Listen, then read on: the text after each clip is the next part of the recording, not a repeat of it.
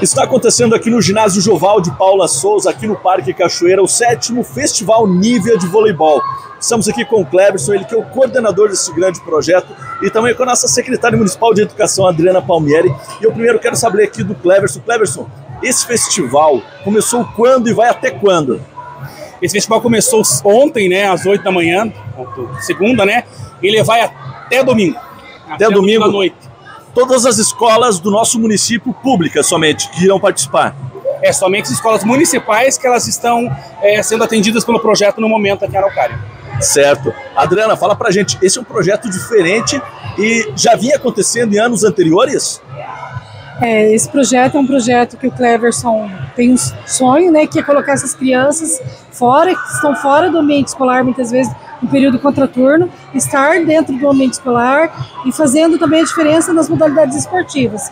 É um projeto que é junto com a parceria com a Esmel, principalmente.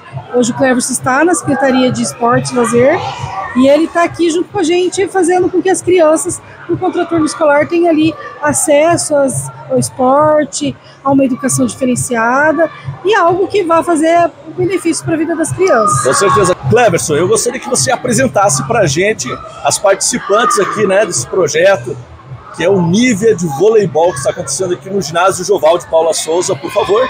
verdade é assim, nós temos aí a Alice e nós temos aqui a Carol. Nós temos um costume no projeto que é assim, quem é mais velho, quem passou pelo projeto, ajuda a gente a cuidar dos mais novos.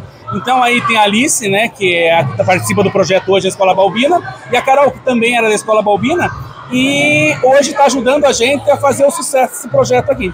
Certo. E aí a gente tem aqui também, Fernando, a Maria, que é da Escola Elírio, e a Beatriz, né, Beatriz, que é da Escola Balbina. Então, são várias escolas, né, uhum. Cleverson? Eu acho que todas as escolas nossas, algumas ali, a gente está colocando aí no projeto, implantando por conta de quadra, alguma coisa que o município está aí fazendo muito investimento. Então, a maioria das escolas hoje estão com o projeto de voleibol. E eu gostaria, Cleverson, agora que você fizesse um convite especial para quem está assistindo, dá tempo para participar, para vir assistir ainda? Na verdade, para participar do festival tem que estar tá, é, participando do projeto nas escolas. Mas para assistir, vocês podem vir aqui tanto no Parque Cachoeira assistir o projeto, como acompanhar os flashes pelas nossas redes sociais. E nós temos as redes sociais, né, que está o tempo todo fazendo reels, fazendo stories, para que a gente consiga os pais em casa ver ver o que está acontecendo com os filhos. Mas domingo, né, a passagem aqui da Araucária é gratuita, os pais podem vir torcer pelos filhos. Vão ter aqui quase 200 crianças domingo disputando as finais do festival. E as premiações? Assim, é um festival participativo. Todas as crianças ganham medalha, todas, sem exceção. A única diferença é que as crianças que vêm no domingo, elas recebem a medalha classificatória, que a gente chama, que vai do primeiro até o oitavo lugar.